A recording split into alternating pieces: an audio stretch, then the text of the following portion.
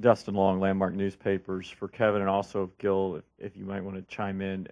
You talk about you've had these conversations about what it takes to win, uh, and I'm just wondering how, in, in this situation that you're in, how much how challenging is that? Um, I'm sure it's one thing to say, okay, we want to win, but how do you go about and do that? And how is that how is that thinking process different than, than say last year when it was winning wasn't the concern. It was just trying to be competitive. How, how have you tried to force yourself or, or think of new things and, and be willing to take risk or things like that? How, how's it kind of challenge you?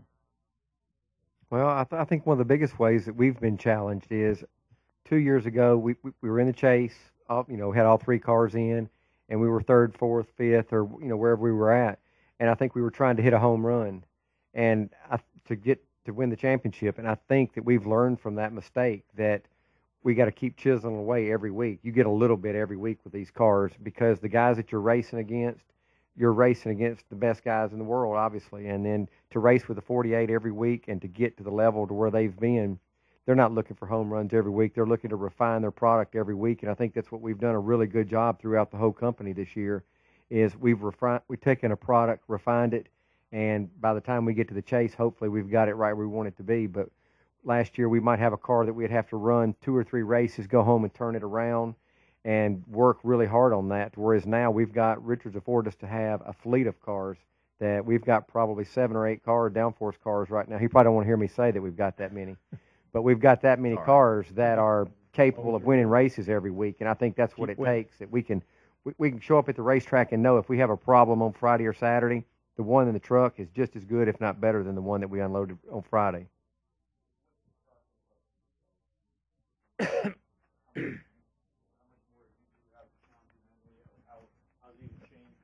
do or, or don't do on the track? Well, I, I think from a you know the confidence level of, of what you the way you race now is is you race knowing that you have a chance to win uh, with your with your equipment every week. Obviously, last year we were in a in a little bit of a slump and, and really trying to figure out the direction that we needed to go to, um, you know, to make the cars better. But we've all won. We all know how to win. It's just a matter of get, getting the stuff right, uh, putting it on the racetrack so it's competitive enough to, to be uh, in contention to win, and and um, that's what we've done this year. So the mindset is uh, is I mean it's so different. It's not even not even comparable just because you know that every time you go on the racetrack you have a shot.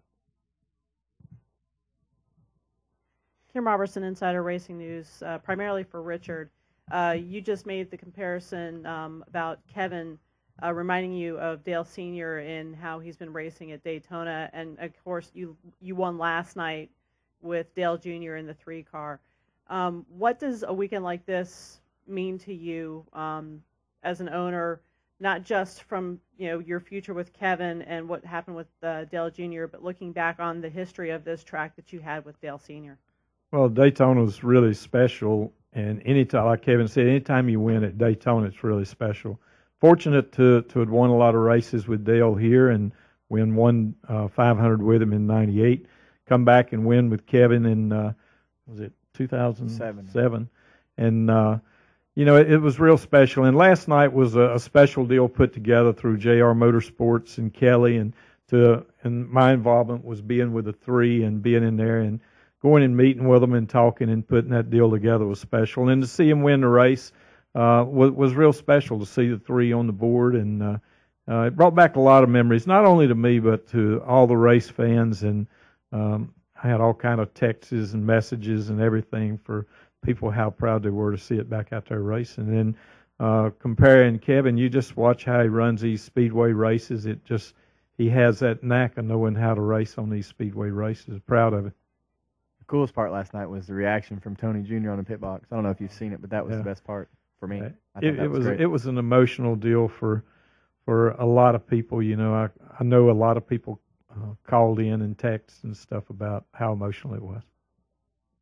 Anything further for these gentlemen? You got Bob, and then go back to Dustin. Bob can't get through without a question. you can take your headset off now. The race is over. Yeah. Still listening to finish. Bob Parker, Scene Daily. We all know who you are. Um, for Richard, uh, you said something. Have you heard any of this? Yeah, I've heard, been listening. Okay. Um, for Richard, um, during the during the red flag, or I'm sorry, not during red flag, but after the last crash, you had said something on the radio that you were wondering if the white flag had come out before the uh, before the caution. Um, did you think at some point that that Clint had won that race? No, I just I, I s- said why didn't it come out? is what I said. You know, was why didn't the white come out then? And uh, NASCAR made the call that they you know that they made, and uh, it ended up one of the RCR cars won the race, and uh, Oh, it was out. I could see the white flag. We just never got to it. Yeah, that's what it was. It was just one of those deals, and you know, it's uh, you know, I feel bad for Clint and all these guys, but at the end of the day, can't but one one of those guys win, and here we are tonight. I'm just glad that uh, the way all three of them ran, that we were able to come out of there with a win.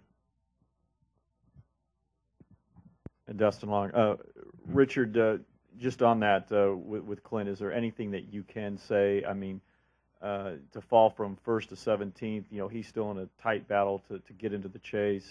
I mean, there was a lot of points lost tonight. Whether that affects him come September or not, we'll find out. But is there much you can say, or have you even had a chance to say anything to Clint? No, I haven't. I haven't talked to him. I'll talk to him uh, later. Uh, probably wait till tomorrow. Let things kind of cool off a little bit because I, I I don't know if the 24 got into his tire back there or what happened, but I know he was not happy with the 24 at that point. Okay. Anything further? Gentlemen, uh, congratulations and thank you for your time.